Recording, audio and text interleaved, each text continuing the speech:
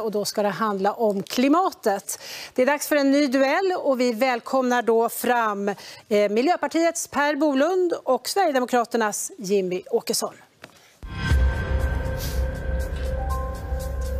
Ja, klimatet är ju en av väljarnas viktigaste frågor och regeringens klimatbudget i år den är också rekordstor. Frågan är om man satsar på rätt saker.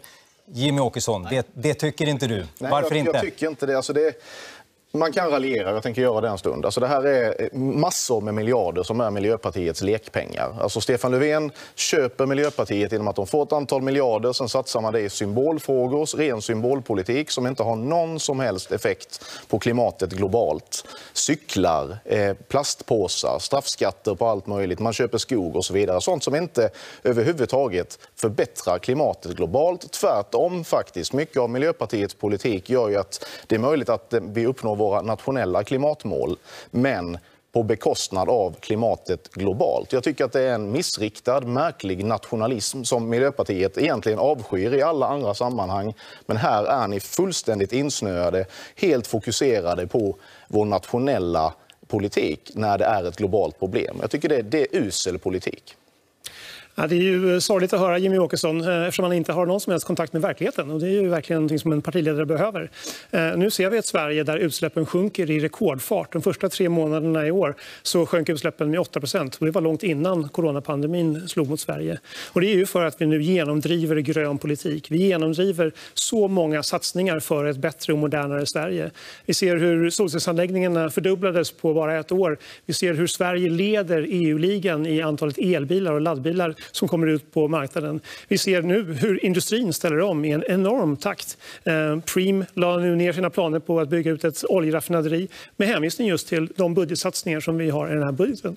Och det, är ju det, det är ju det som vi behöver ha mycket mer av inför framtiden. Vi behöver ha grön politik som ger framtidstro. Och det är också det som internationella bedömare de pekar ju på Sverige. Det är Sverige som är föredömet. Det är Sverige som man lyfter fram, som faktiskt ligger i framkant. Och när vi nu hör industrin så säger ju industrin tydligt att det är genom att vi nu moderniserar oss, att vi nu tar fram färdplaner för fossilfrihet. Det är det som ger oss en konkurrensfördel. Och deras stora rädsla det är ju inte att Miljöpartiet får råda, för det är det som ger dem möjligheterna. Deras rädsla är att Sverigedemokraterna ska få inflytande över miljöpolitiken. För då vet de att då slås deras möjligheter att vara konkurrenskraftiga helt och hållet ut. Jag tycker det är intressant att Per Bolund tar upp det här med, med verklighetsförankring. Eh, Miljöpartiet är ju ett parti som är helt fokuserade på just miljöfrågor och har levt på det, bygger sin existens på det. Och vi har samtidigt en väljarkår som förmodligen är mer miljömedveten än någonsin, mer klimatmedveten än någonsin. Men Miljöpartiet fortsätter krympa. Jag säger någonting tycker jag om Miljöpartiets verklighetsförankring.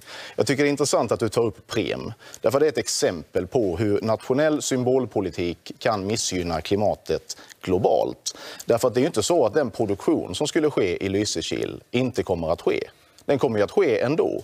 Men den kommer att ske någon annanstans, i något annat land med ett helt annat miljötänk kanske, med en helt annan lagstiftning. Och det betyder ju att den fantastiska seger som Miljöpartiet nu har, har, har fått här, det innebär ju kanske att utsläppen istället blir högre än vad de hade blivit totalt sett. Men ni är så fokuserade på eh, vår egen klimatlag och våra egna nationella klimatmål att ni fullständigt missar att det här är ett globalt problem och en global fråga som bara kan lösas globalt. Vi vill satsa i internationella klimatinvesteringar till exempel, därför att det förbättrar på riktigt. Vi vill satsa i energiforskning, forskning i modern kärnkraft som på riktigt kan skapa förutsättningar också för en, en växande industri i Sverige.